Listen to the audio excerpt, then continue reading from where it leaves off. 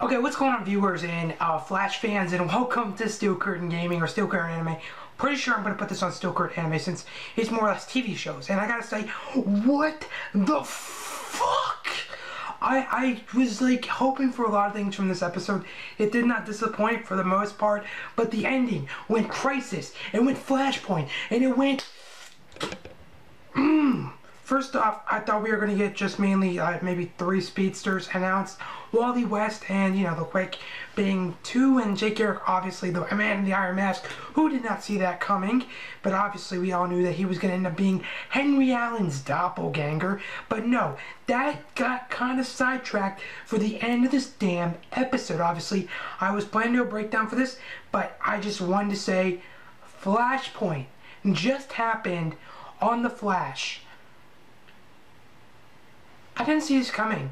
Obviously, when we had Barry getting his powers back, it kind of resembled Flashpoint, but then basically at the end of this, Barry pulling a flashpoint and deleting everything he did, meaning everything that ever happened in the Flash just got canceled.